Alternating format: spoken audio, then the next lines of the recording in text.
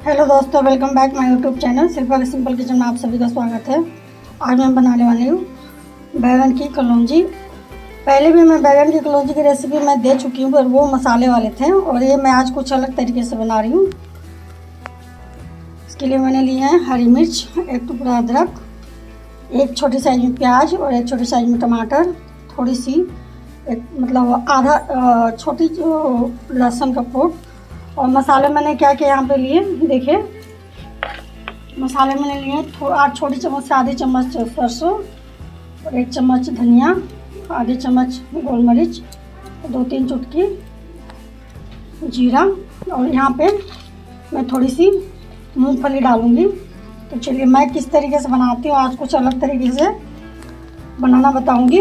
तो चलिए, पहले मैं मसाले को अच्छी तरीके से जितने भी मसाले मूंगफली मसाले, जितने भी है, ये टमाटर, प्याज और जितने भी मसाले मैंने आपको दिखाए हैं, सारे मसाले को पहले अच्छी तरीके से फ्राई कर रहे हैं। चलिए फ्राई करना। देखिए।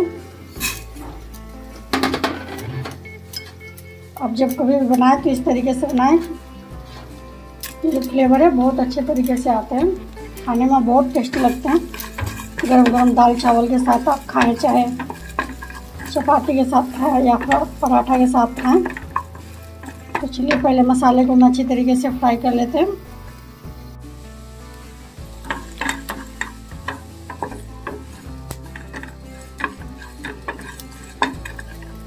यहीं पे डाल दूँगी मूंगफली। अगर आप मूंगफली नहीं खाते तो यहीं पे नारियल ऐड कर दें। यहीं पे। जितने भी। साबुत मसाले। ये हैं वो भी साथ के साथ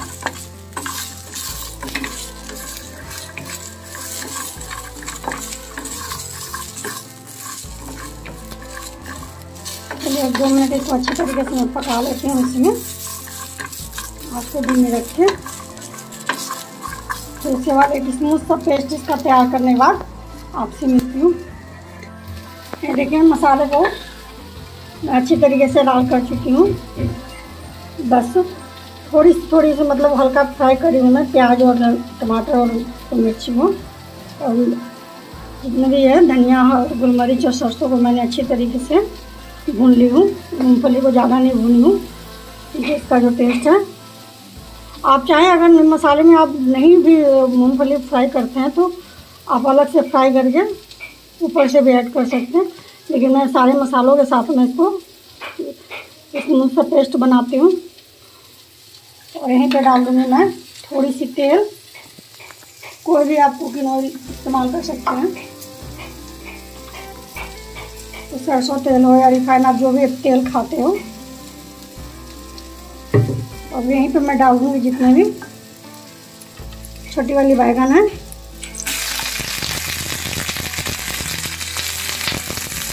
हल्का सा ऐसे करूँगी मैं ज़्यादा नहीं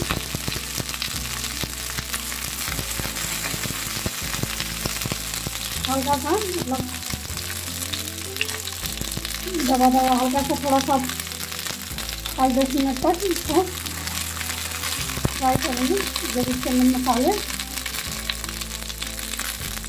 तो चलिए पहले इसे अच्छी तरीके से फ्राई होने देते हैं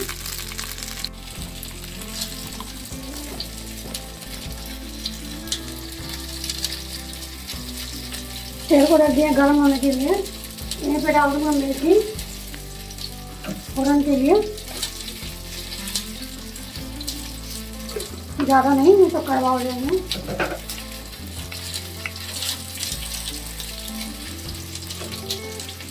और देखिए, जितने भी हैं, मूंगफली और मसाले मैंने आपको दिखाया था, टमाटर प्याज सारे को मैं पतला सा पेस्ट बना के तैयार कर ली हूँ।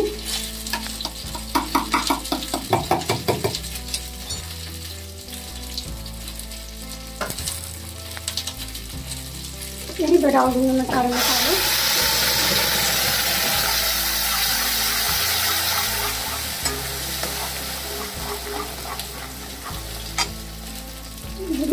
साफ़ करके अभी ये देखने में इतने सारे लग रहे हैं क्योंकि प्याज और टमाटर ऐड किया हुआ है जैसे जैसे ये फ्राई होंगे तो बिल्कुल थोड़ा होता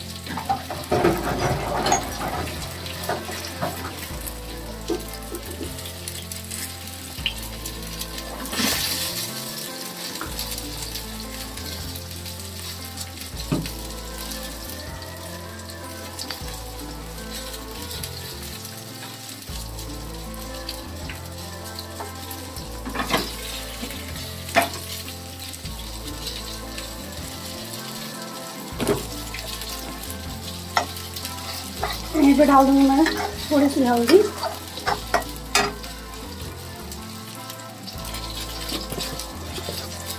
और कोई भी मसाले और ऐड नहीं करना है, क्योंकि मुझे सारे मसाले मैं खड़े इस्तेमाल करूँगी फिर के हिसाब से नमक।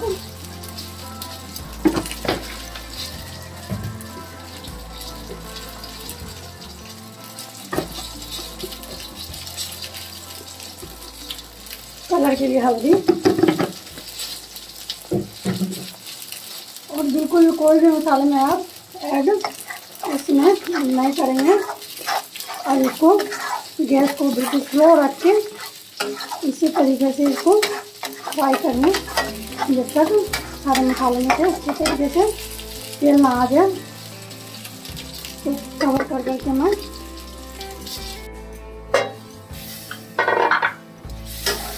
मसाले दिख रहे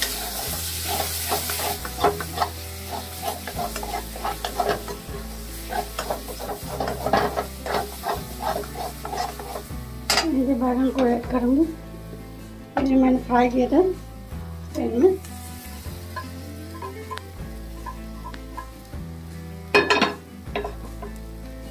अलग अलग नहीं अगर फ्राई करना चाहते हैं तो पहले कढ़िया में से फ्राई कर लिया, उसके बाद मसाले। के साथ इसे फ्राई करें। यहीं पे मैं डाल दूँगी थोड़ी सी पानी। ये अच्छी तरीके से बैगन में जितने मसाले हैं।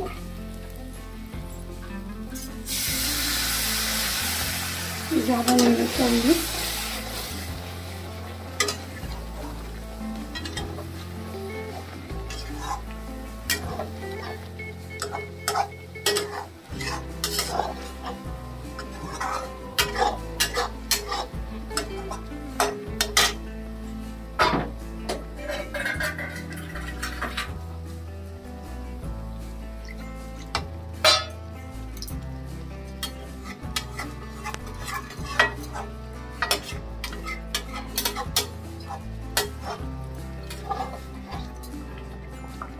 गैस को कर देंगे शुरू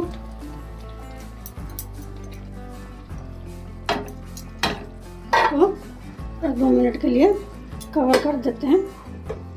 उसके बाद आपसे मिलते हैं चलिए देख लेते हैं। मुझे तैयार हो गई है देखें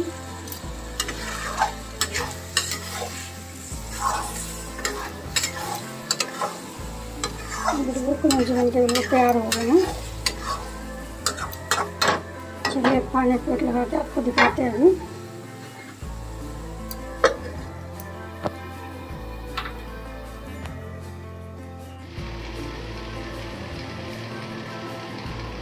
देखिए बैगन की कलौजी बन के बिल्कुल तैयार हो गए हैं मसाले वाली।